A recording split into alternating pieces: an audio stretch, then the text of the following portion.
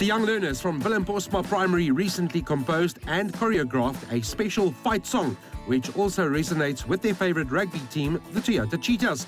With this in mind, the school squire was invited to perform the song alongside the Cheetahs at the Toyota Stadium, but only after a quick visit from the Cheetah mascot. We did the fight song with the cheetahs, Willem Postma together with the cheetahs.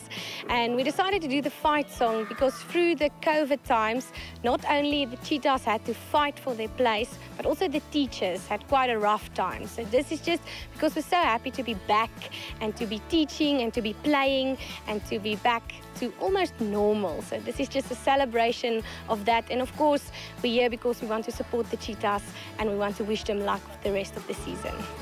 It all came about with a conversation between myself and Benita, who is the marketing manager of Willem Postma. We had a conversation, she told me about their choir and what they have in mind, and I told her I think it's a great idea and that we should choose the fight song. The Cheetahs are fighting to win the Currie Cup, so we have always fought, and the fight song just represents what we as the Cheetahs stand for. We fight and we fight and we fight and then we succeed and we stay relevant. The way the fight song came about, our teachers gave us the the paper and we started practicing. Eventually she told us about how we're going to sing with the cheetahs and then we came up around here. So Tyra was our choreographer. She was doing the dance moves. She came to the school. She taught the children. She was one of the cheetah girls. So it was quite an honor to work with her. The kids enjoyed it, extremely enjoyed it. When they saw her, they were so excited and cheering because she was here. And yeah, a lot of fun. The cheetahs also did a bit of the dance. And yeah, we really appreciated that they took some time to dance with us today. Yo, the children was amazing. Working with the children, I think, has been the most rewarding experience from this. They were all so kind and they listened really well. They took in the dance really well, so that's really good. You know, sometimes working with kids, it's hard because you don't know if they're going to go home and practice. And then when you get you on the day, then it's, you know, all over the place. But from the get-go, they were interested in it. They went home, they practiced, and they gave it their best shot.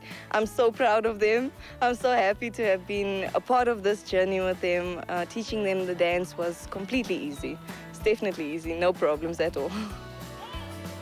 We spent the afternoon uh, with uh, Willem Postma Primary. They uh, sang the fight song for us, and uh, we uh, tried our best to uh, go along with the dance moves and uh, yeah, give it a nice rhythm to it. But uh, yeah, hopefully we tried our best and hopefully it looks looks good enough on camera.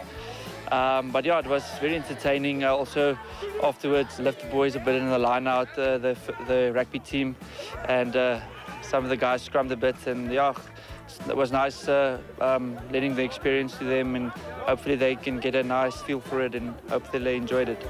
Oh, yes!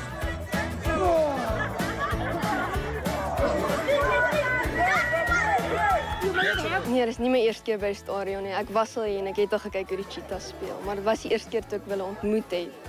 En toe ek hier binne kom van, "Jesus, maar is groot." En ek onthou nog ek my vir my vriend gevra, "Hoekom is die hoekom is daar baie keer oranje seats?" Sê vir my, "Dis omdat ons hier die Vrystaat is en dis die Vrystaat so."